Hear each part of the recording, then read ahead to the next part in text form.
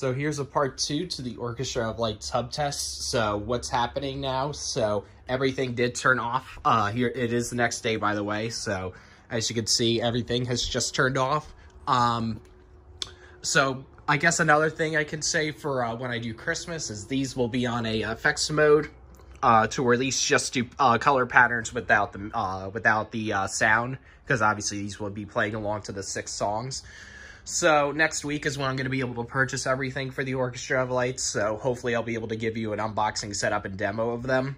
So, um, yeah. So another thing we were notice uh, asking ourselves is what the price of the Snowman set would be. So that's also going to be $60. Um, so all the Pathway sets are going to be $60 except for the Candy Cane set, which is $70.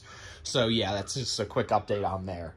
So yeah, um, when we switch over to the new network, I'm hopefully going to be able to have my hub on the second floor where my router is and um, have it go from there. The only issue is, is that I have to have it scanned from here all the way down to the end of the walkway where my last candy cane set would be. So it's going to be difficult for me to get it all to work when it's upstairs. So I'm probably going to have to keep it downstairs connected to an extender like I have it right now because it would be difficult for me to get it to scan for everything over there when it's on the second floor all the way up there. So yeah, the range on it unfortunately isn't that great. And I was requested to do a uh, range test, so I'm going to have to do that later.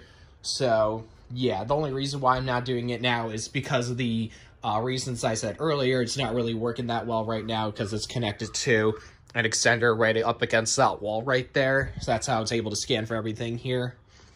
And uh, we're also on a uh, slower network, so we're supposed to be switching over to the faster network next week. So hopefully next week when that comes, I can do my new range test once that's all done. So yeah, hopefully you all understand the issues that I'm going through uh, with uh, my new my old network and why I won't be able to do the test right now. So yeah, hopefully next week I'll be able to give it to you all. And thank you for watching like, comment, and subscribe, and I'll see you all later.